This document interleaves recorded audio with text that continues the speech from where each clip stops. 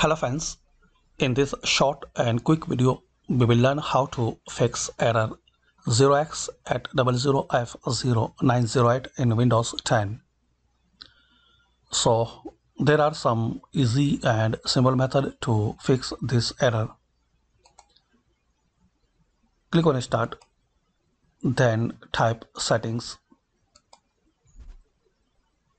Now click on devices now scroll down.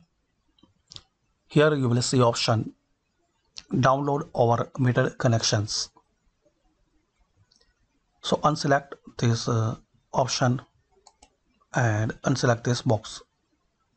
Download our metered connections. So unselect this box then close it and restart your pc now try to install your language pack on your windows hopefully guys using this uh, easy method this uh, error will be fixed.